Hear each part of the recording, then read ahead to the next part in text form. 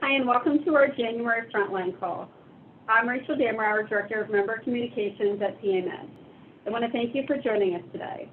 This call is reserved for our practices that support us with 100% physician membership, so I'd like to take a minute and thank you for your membership.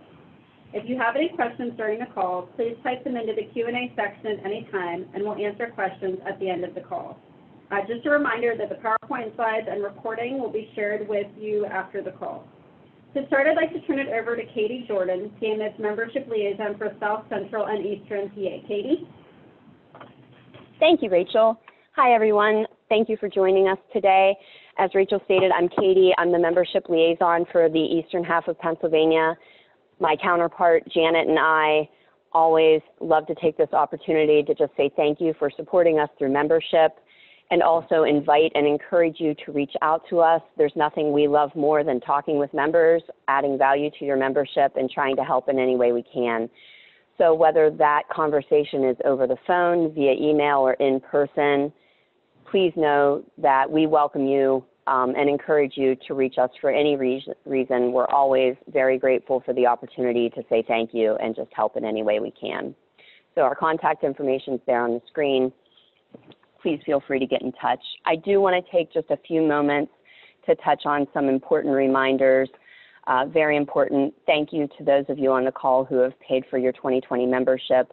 Of course, we appreciate you as members and, and value you for those of you who maybe have not paid yet, I just want to do a quick reminder and say dues are um, are due, and we're ready uh, to help you if you have questions about your invoice this year. We know they look a little different. We encourage you to reach out to us. Again, Janet and I just love to talk, and we would love nothing more than to answer any questions you might have um, about invoices or anything else. So just a quick reminder, if, if you haven't seen an invoice um, and you're wondering where it is, again, just reach out to us. We'd be happy to help. We do have several awards within the Pennsylvania Medical Society. We love to take opportunities to recognize the wonderful physicians we have in, in Pennsylvania, and this is a great way for us to do that. But in order to do that, we really need your help.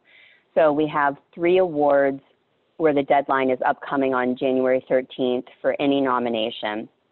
If you look at these topics and you think, oh, I work with a great physician who's under 40, I encourage you to just take a look at the nomination page and you can see the link there on your screen read a little bit about those awards. If anybody pops into your mind, I encourage you to nominate. If you have questions or you need help nominating, you're not sure what to do, again, just reach us. We're always willing and able to, to assist in this matter. So that top position under 40, the Distinguished Service, and the International Voluntary Service Awards have a deadline of January 13th for nominations. So I encourage you to just take a look at those the other opportunity we have to recognize these great physicians is within the Everyday Hero Award. Uh, personally, this is one of my favorites because it's it's always uh, just a humbling and rewarding experience to meet with our everyday heroes, to present them with this award, and to hear from others how they have touched uh, touched lives and just made a difference in their patients' world and also in their their colleagues' world. So the Everyday Hero Award is a monthly award. We accept nominations throughout the year. We do keep those nominations for at least 12 months. So if anybody pop, pops into your head where you're like, oh man, they're always doing the right thing, they're always going above and beyond in whatever capacity that might be, that might be a great opportunity to recognize that person within the Everyday Hero Award category. Again, we have a website there. It does um, specify you know, kind of what the award is. It gives a slight description. But if you have more questions, we encourage you to reach us. One of the unique opportunities in Everyday Hero is your patients can nominate their physicians, or if you have a physician, you know, we're all patients. So if there's a physician that you see, not necessarily work with, that you feel would be a great fit, we encourage you to um, to maybe share this with your patients, put it in a patient area, or think about it from a patient perspective for your own, um, for yourself, and go ahead and nominate somebody.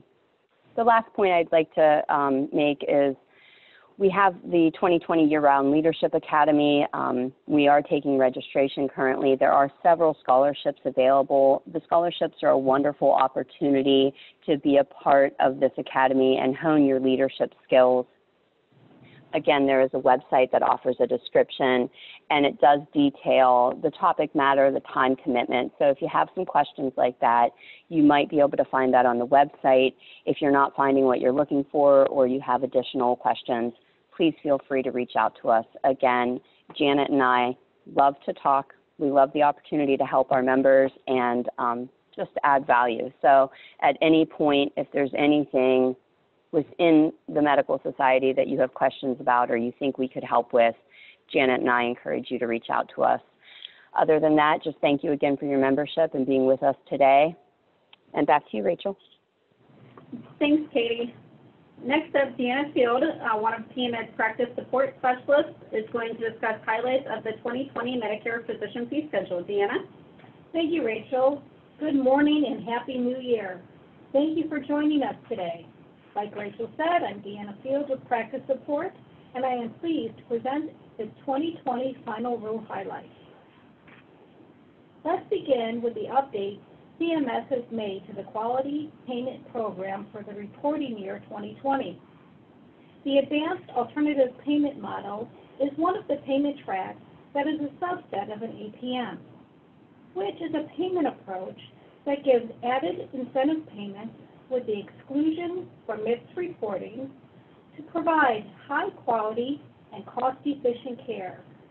Those that meet the criteria where at least 75% of the clinicians in the APM use a certified EHR, a medical home model, or bear a significant financial risk while using quality measures comparable to MIPS. CMS is continuously reviewing and updating programs to include in the list of advanced APMs. CMS, identifies a QP by calculating patient count or payment amount threshold by analyzing the results through snapshots of data throughout the year in the months of March, June, and August. To review the program in greater detail, and check to see if you qualify, please use the link to the QPP included on the slide. Now moving on to MIPS. Here are some highlights to mention. Payment adjustments for performance year 2020 will be made in 2022. The maximum negative adjustment is set at 9%, while the po positive payment adjustment can be upward of 9%. Quality measures must meet a 70% completeness threshold, and reported measures that fall below this threshold will receive zero points, with the exception of small practices that will continue to receive three points. In the cost category, there are 10 new episode-based measures added this year reporting performance for promoting interoperability data must be using 2015 edition certified EHR technology. MIPS weighted scoring categories and performance periods for data submission will remain the same for 2020. Quality is at 45% with a 12-month performance period. Cost remains at 15% with a 12-month period. Improvement activities is at 15% with a 90-day performance period. And promoting interoperability is at 25% and a 90-day performance period. The performance threshold for 2020 increases to 45 points from 30 points. So let me break down the points that result in either a negative, neutral, or positive payment adjustment. The negative payment is 0 to 44.99 points. A neutral score is 45 points, where a positive payment is, 40, is points greater than 45.01. And exceptional performance is weighted at 85 points or more for an additional positive payment.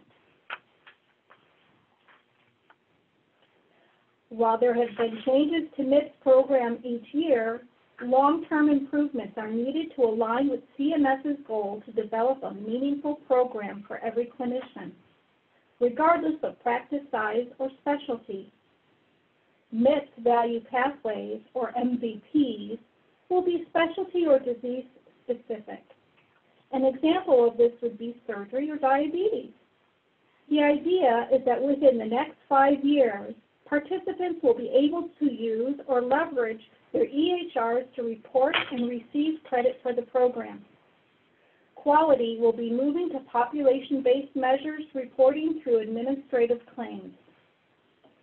CMS is creating a new participation framework in 2021 that will unite and connect measures and activities across quality, cost, promoting interoperability, and improvement activity performance categories of MIPS. Incorporate a set of administrative claims-based quality measures that focus on population health or public health priorities.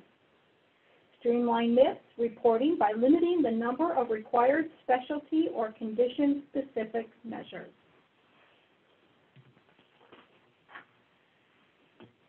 Now, how does CMS truly bring the programs together?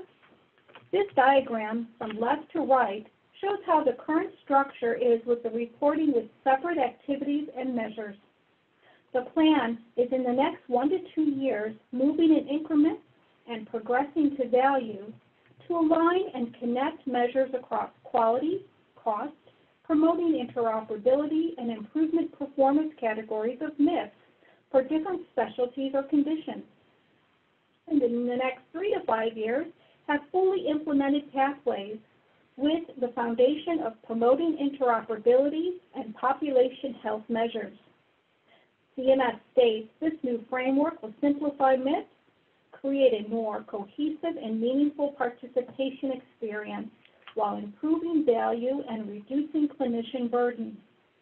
Additionally, the MVP framework honors CMS's commitment to keeping the patient at the center of their work and achieving better outcomes and lowering costs for patients.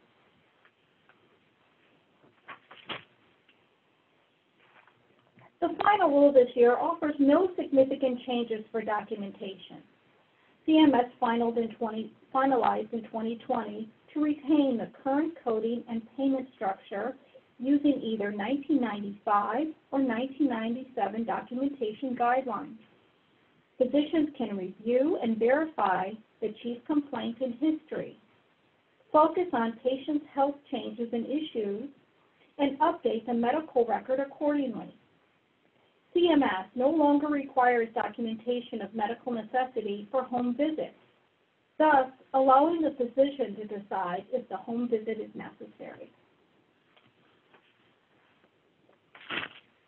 Looking ahead into 2021, CMS is largely aligning the evaluation and management coding with changes laid out by the American Medical Association CPT editorial panel for office-based outpatient E&M visits.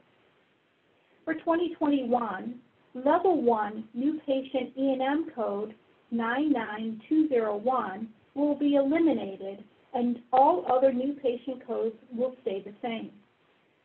The codes for established patient E&M visits will remain, however, code definitions will be revised. The new rule will allow clinicians to choose E&M visit levels based on either medical decision-making or time.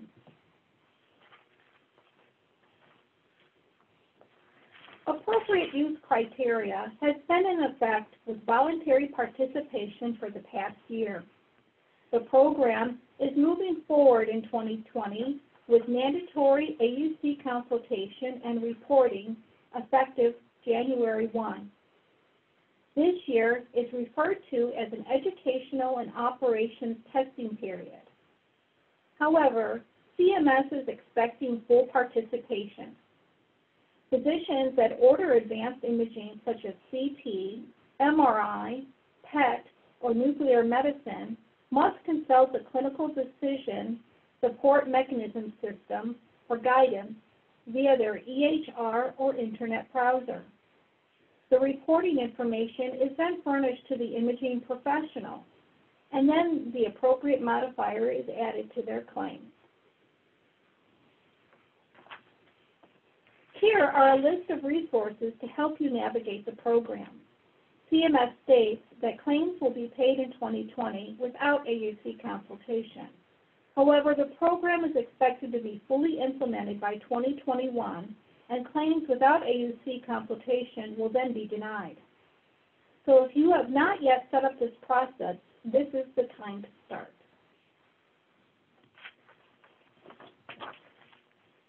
start. CMS has expanded chronic care management with a new add-on code for non-complex chronic conditions.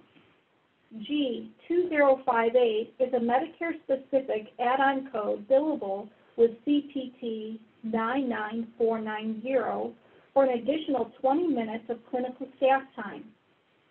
Chronic care management is for patients with two or more chronic conditions expected to last at least 12 months or until death. CMS created new codes for principal care management effective January 1. PCM was established to provide services for patients with only a single serious and high-risk chronic condition. Code G2064 is for at least 30 minutes per month of services provided by a physician or other qualified health professional, and G2065 is for at least 30 minutes per month of services performed by clinical staff under the direction of a physician or other qualified health professional.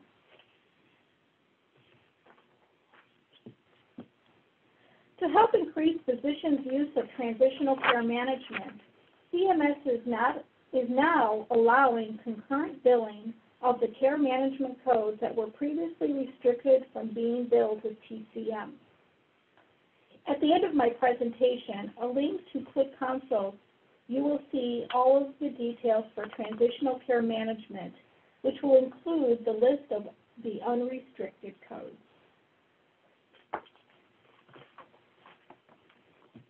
In an effort to alleviate administrative burden, CMS has allowed practitioners to obtain a single consent from a patient covering multiple communication technology services. The single consent must be obtained at least once per year, as opposed to the previous requirement of once per service. The consent must also include patient cost-sharing responsibility.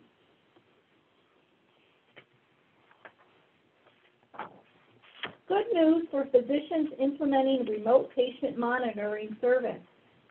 CPT 99457, as currently written, billable after 20 minutes or more of clinical staff, physician, or other qualified professional time with a patient in a calendar month. In response from stakeholders stating that additional time spent monitoring a particular or a more complex patient is warranted, CMS finalized add-on code 99458 to reimburse for an additional 20 minutes of time spent monitoring a patient during a calendar month. Here's a list of all the quick consults available that are either originated or updated for 2020. Please read and download them to share with your staff. Thank you, and back to you, Rachel. Thanks, Deanna. Uh, just a reminder, if you have any questions, please type them into the Q&A section, and we'll answer them at the end of the call. Next, Angela Boateng, PMS General Counsel, will give an overview and an update on the state's venue rule. Angela? Thank you, Rachel. Good morning and Happy New Year to everyone. As Rachel said, my name is Angela Boateng. I'm the General Counsel for the Pennsylvania Medical Society. Today, I'd like to provide a quick update on the Pennsylvania Supreme Court's proposed change to Pennsylvania's medical professional liability venue rule. Before we discuss the proposed change, I would like to start where the law stands right now. Under the current venue rule, if a plaintiff decides to sue a physician, the plaintiff must file the lawsuit in the county where the alleged harm or medical error occurred. There are other nuances to this law which could further expand the plaintiff's venue options for filing the lawsuit, but this is the basic gist of the rule. Now, here's the change. In December 2018, the state Supreme Court's Civil Procedural Rules Committee recommended a change to this rule that would increase the number of options a patient has or a plaintiff has in selecting a venue to file a lawsuit. Under the committee's proposal, in addition to being able to file the lawsuit in the county in which the medical error occurred, the patient could file the lawsuit anywhere the defendant could be served. This would include any place the defendant resides, lodges, as in a hotel or an inn, or anywhere that defendant does business. The plaintiff could also file wherever venue is authorized by law and wherever the property which is part of the action or the lawsuit is located. Um, and given the current expansion of um, hospitals across Pennsylvania, um, there are a number of different venues that could be selected.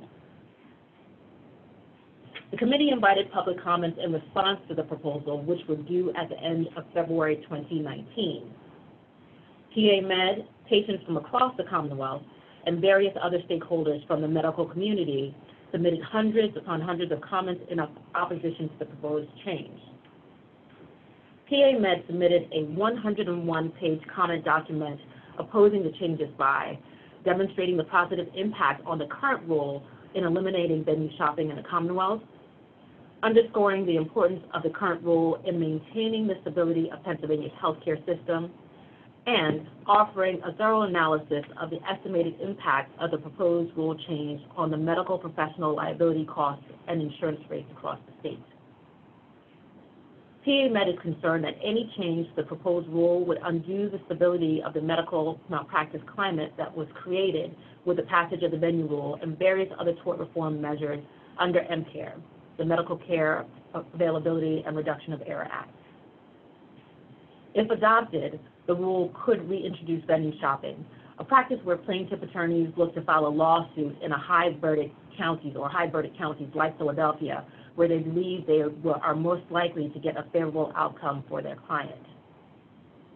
In addition, PA Med is concerned that if adopted, the proposed change could lead to decreased access to quality patient care, increased professional liability insurance premiums, and physicians less willing to practice in Pennsylvania. PA Med's comments also advocate for collaboration between Pennsylvania's legislature and the judicial branches, as well as an open public process in the development of any new rule. This particular request actually came to fruition with the passage of Senate Resolution 20 of 2019.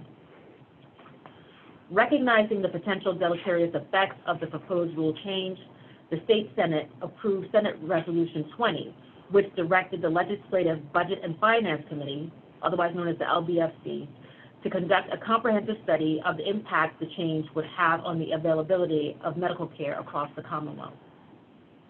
The resolution requested that the state Supreme Court await the results of the study before acting on any proposed change. The state Supreme Court in February, in a February 2019 letter to the House Speaker Mike Turzai agreed to wait for the report. The release of the report, which was due at the beginning of this month, has been delayed. The LBFC has indicated a tentative release date of February 5th. On this tentatively scheduled date, the report's findings will be shared with the joint legislature during a meeting that will be open to the public. As you can imagine, PA Med and the medical community are eagerly awaiting the release of this report. So please stay tuned for additional information through PA Med's communications and website. Also, please visit PA Med's website for additional background information on this issue. Thank you. Thanks, Angela. Uh, Just a reminder, if you have any questions, please type them into the Q&A section, and we will take questions now.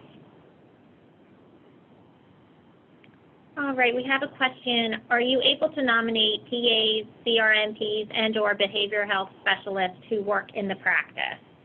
Uh, All of PMed's awards, the nomination criteria is that it be a physician member.